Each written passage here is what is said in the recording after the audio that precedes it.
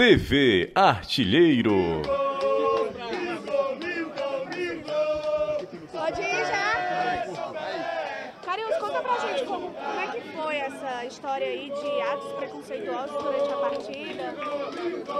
Olha, é uma situação que eu não queria mais nem tocar nesse assunto, porque é muito constrangedor. Você viver num tempo como hoje, você saber que você ainda tem preconceito por a gente ser nordestino, né? Mas é uma situação que foi que eu presenciei, que eu jamais é, imaginaria que poderia passar por isso. Mas a gente deu resposta dentro de campo, a gente foi lá, conseguiu fazer o nosso jogo, jogamos limpo a todo tempo e graças a Deus, Deus abençoou a gente, a gente mostrou o quanto ser nordestino é importante também para a gente e para todo o país, porque o nordestino também é gente. Porque se você for analisar toda a história, o nordestino contribuiu muito para o crescimento do Brasil. Mas infelizmente existem essas pessoas que ainda hoje têm esses preconceitos, mas que Deus possa abençoar cada um deles, que possa, é, possam refletir o que eles falaram e que a gente possa estar tranquilo também com isso que tudo que aconteceu. O Carioso, a busca segue, né? Tanto pelo título e você pela artilharia. Sim, a gente tinha um objetivo depois do acesso que era conquistar a Série D, ser campeão. E a gente está nesse intuito. Graças a Deus a gente passou pelo nosso adversário nessa semifinal.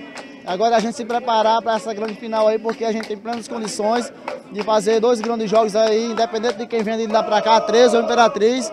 O que importa é que a gente está preparado para a gente ser campeão. Entre ser artilheiro e ser campeão, prefiro ser campeão. Então a gente vai lutar para que a gente possa ser campeão e dar esse título para essa torcida maravilhosa. Até hoje só o Guarani de Sobral conseguiu o título brasileiro. Você já citou isso algumas vezes como importância para conquistar esse título. O lugar está pertinho de fazer história. Sim, eu, a gente, eu falo isso para meus companheiros, que é muito importante você ser campeão. E a gente está muito próximo de conquistar esse objetivo, de, de igualar o Guarani de Sobral como campeão brasileiro. Então não é todo dia que você consegue ser campeão brasileiro. Então a gente vai em busca desse intuito para que a gente possa é, ainda mais levar o, o Ferroviário no cenário nacional sendo campeão brasileiro a decisão ser aqui como ser lá, infelizmente vai ser lá, né? Assim, mas por você, com, com o que, que você preferia? Olha, na verdade eu preferia a gente comemorar o título diante do nosso torcedor, mas a gente não pode fazer essas escolhas a gente vai, vai ter que de, de, é, definir esse, esse, título fora. A gente vai jogar da mesma forma que a gente vem jogando. Agora, para a primeira partida diante do nosso torcedor, a gente tem que fazer um grande jogo que nem a gente fez contra o São José, para que a gente possa levar uma vantagem para a casa do nosso adversário e que a gente possa se consagrar campeão. E não tem, tem dado certo, né? Jogar o primeiro em casa e o segundo fora. Sim, desde o início que aconteceu assim, acho que acredito que o primeiro mata-mata que a gente enfrentou, que a gente decidiu em casa contra o Cordino.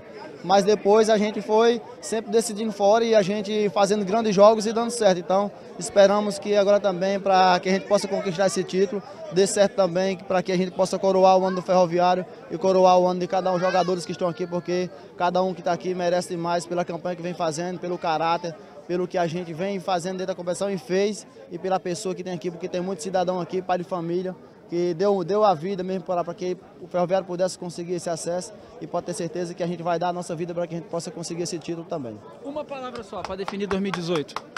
Olha, gratidão. Gratidão por tudo que vem acontecendo. É um ano maravilhoso, espetacular. Esperamos que a gente possa concluir é, esse ano com o título. Obrigado, Carinho.